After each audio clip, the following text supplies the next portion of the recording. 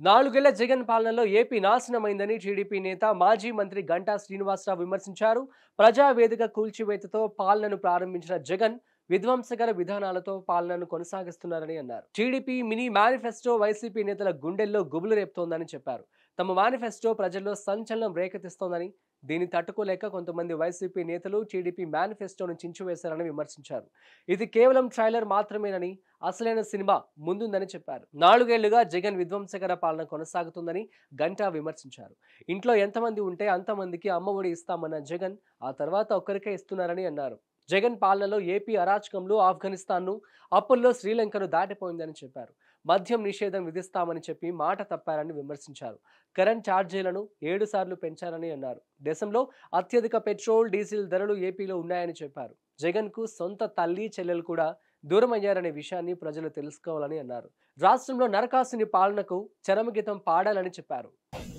Public మీటింగ్లో ఏదైతే తెలుగుదేశం పార్టీకి అతి ప్రధానమైన మేనిఫెస్టో అంశాన్ని కానీ చెప్పటం.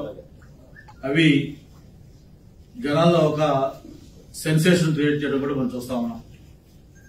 ఎంత సెన్సేషన్ క్రియేట్ చేసింది ఆ మినీ మేనిఫెస్టో? అంటే జస్ట్ ఒక ట్రయల్ లాంటిది ఒక సూపర్ సిక్సెస్ ఒక ఆరు మేనిఫెస్టో అంశాలు ప్రస్తావించడం అవి మొత్తం ప్రజల్లోకి రీచ్ అవుతున్న తీరు చూసిన తర్వాత వైసీపీ నాయకులకి ఎలాంటి ఆందోళన పట్టుకుని మనం చూస్తా ఉన్నాం. మరి అక్కడ మేనిఫెస్టో అంశాలు ప్రకటించారో లేదో వెంటనే వైసీపీ నాయకులు అలాగే సలహాదారులు అందరూ కూడా హడావుడి హడావుడిగా ప్రెస్ మీట్ పెట్టి ఆ మేనిఫెస్టో మీద మాట్లాడడం జరిగింది.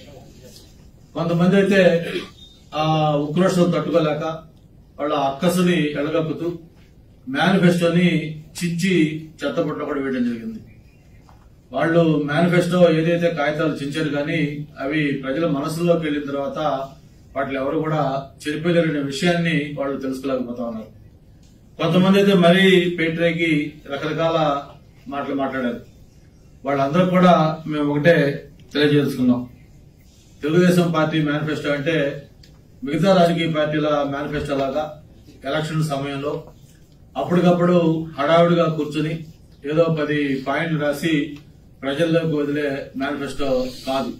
తెలుగుదేశానికి మేనిఫెస్టో అంటే మరి గతంలో చెప్పినట్టుగానే అది ఒక పవిత్రమైన గ్రంథం. ఈ వీడియో మీకు నచ్చినట్లయితే లైక్ షేర్ అండ్ సబ్స్క్రైబ్.